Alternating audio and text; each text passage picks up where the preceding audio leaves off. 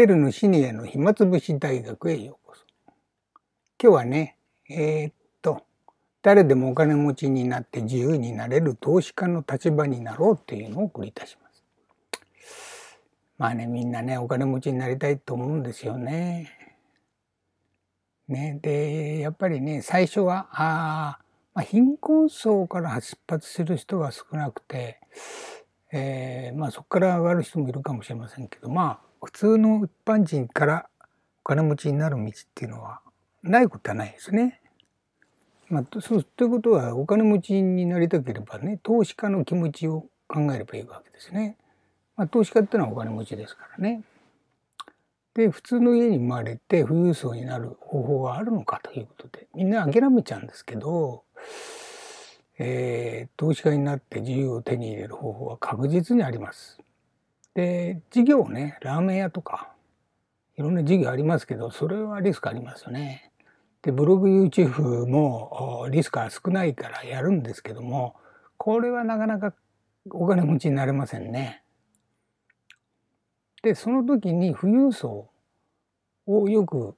の立場になって考えればいいんじゃないかっていうのが今回の提案でまあ、富裕層っていうのは事業を、まあ、ラーメン屋とか、まあ、塾だとか、まあ、あの孫さんとかね三木谷さんとか、まあ、あの前澤さんとかいろいろいますけどもそういう人は非常に少ないですからね。でも資産運用のはなんかできそうなんですね。で一番できそうなのがあまあ株式投資と不動産投資なんですが株式投資ってのは結構難しくてですね、えー、不動産投資が一番いいんじゃないかということなんですね。でこれが一番再現性が強くて、まあ、誰でもできるっていうのがね不動産投資なんでで私もお勧めしてるわけです。で不動産投資やるにはね、えー、労働収入で稼ごうとしないっていうことが大事ですね。それから投資家の行動をよくその身になって考えることですね。それから短期売買でなくて長期に運用運用するということですね。からまず最初には資金を貯めると。この時は労働収入で貯めないとダメなんですけどね。で不動産投資っていうのは再現性が高いこの5つについて、えー、個別にご説明したいと思いますが具体的にですねどんなことかって言いますと、えー、まず労働収入で稼がないっていう意味はですね労働でお金持ちになる人ってほとんど少ないんですよ。労働してお金持ちになる人っていうと大体大企業の社長になるんですけどこれはですね何万人も入って一人しかならないわけですね。はい、これは難しいです。ですから労働では富裕層には簡単になれません。で大企業の幹部もね起業家も誰でもできるわけじゃないんで誰でもできるのは不動産投資だという結論がここで、えー、やってまいります。それから2番目、ね、投資家の行動をよく見てその身になって考えましょうということなんですが投資家ってどういうふうに考えるかというと、まあ、資金は投資家っていうのはいっぱい持ってるわけですよね。1億とか2億とか3億とか。事業で手に入れたり不動産投資で手に入れたり。その時にじゃあそのお金をどうやって運用する？一番硬い方法で誰でもできる。となるとねやっぱり不動産投資なんですね。だから、えー、事業でガーッと儲けたお金を不動産投資にしてで不基本的にその不動産を売ってみたいなのはよくあると思うんですけど結局その、ね、電通があその土地を売ったり東芝も売るんですかね、まあ、要するにそういうソニーも確か不動産売りましたよね。だからあの利益がバーンと出た時に不動産にしてそれであの不況の時に不動産を売るというような場合考えると最初から不動産だけ選べばいいんじゃないかなというような考えですね。だから短期で短期売買でなく長期で運用するってことになると不動産は短期売買無理ですからね長期しかありません。それから短期売買だとあの株式なんてのありますけど株式はですね非常にリスクが高いですね株のデイリングとか会社潰れる場合もありますしね。仮想通貨のデイリングとか FX とかね。これなんかもう超反博打ですから。これは誰にもできません。でほとんどの人が失敗しますね。から次がですね、えー、じゃあ不動産投資やるにどうしたらいいかというと、まずお金を貯めましょうと。これは本田清六さんのね、本で紹介しましたが、収入の4分の1を貯金しましょうっていう話なんですけれども、特に独身の20代でね、実家、実家で暮らしてですよ、年収300万でも、えー、思いっきり節約すればですね、丸々とは言いませんが、あ遊ばなければいいんですよね。酒飲んだり遊んだりね、えー、いいことしない、あの、いい車買っちゃったりしない限りは、これはあの、200万ぐらいね、食べられますから、5年で1000万貯まりますね。ってことは22だと27歳でも1000万。そこで不動産投資やればいいわけですね。で、不動産投資っていうのは再現性が高いんで、これは誰でもできます。ね。これはあの場所と利回りとよく研究すればね。で、富裕層もね、サラリーマンも誰でもやっていて再現性がめちゃめちゃ高いと。女性でもできますね、これは。貯金してる間には仕事を頑張って年収を上げる努力をしながら、えー、銀行のね、融資を得る信用が得られるこ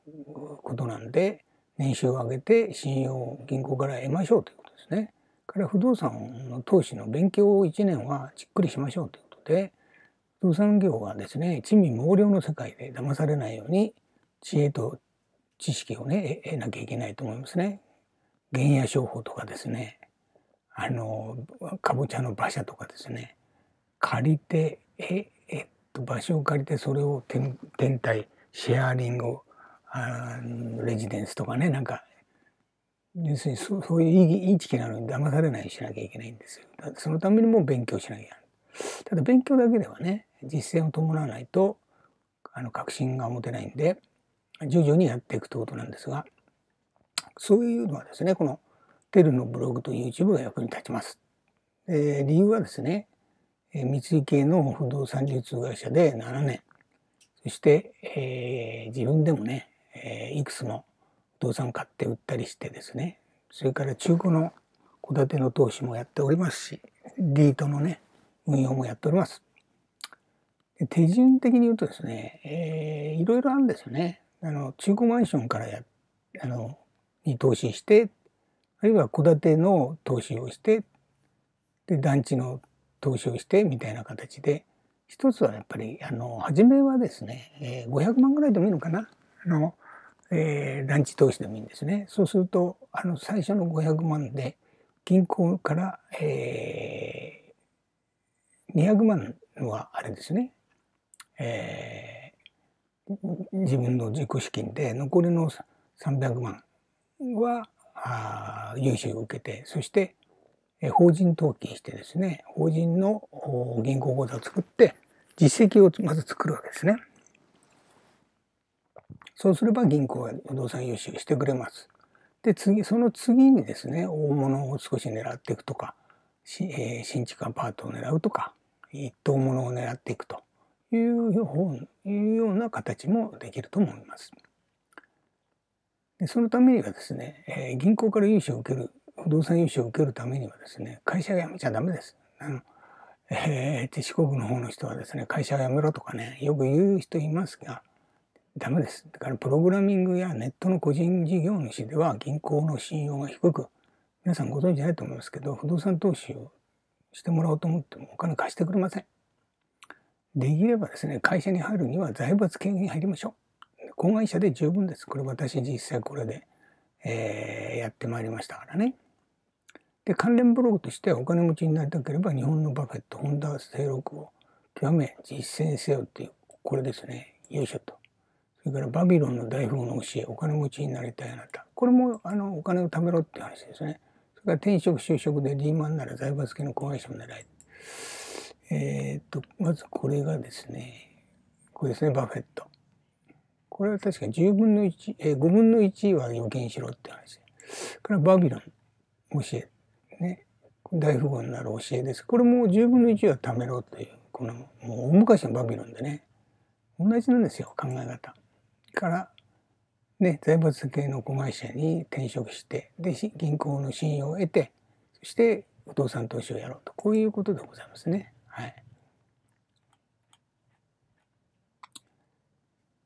えーと、ということでね、えー、誰でもお金持ちになって自由になれる投資家の立場になろうというのをお送りいたしましたということでよろしくどうぞ。チャンネル登録どうぞ。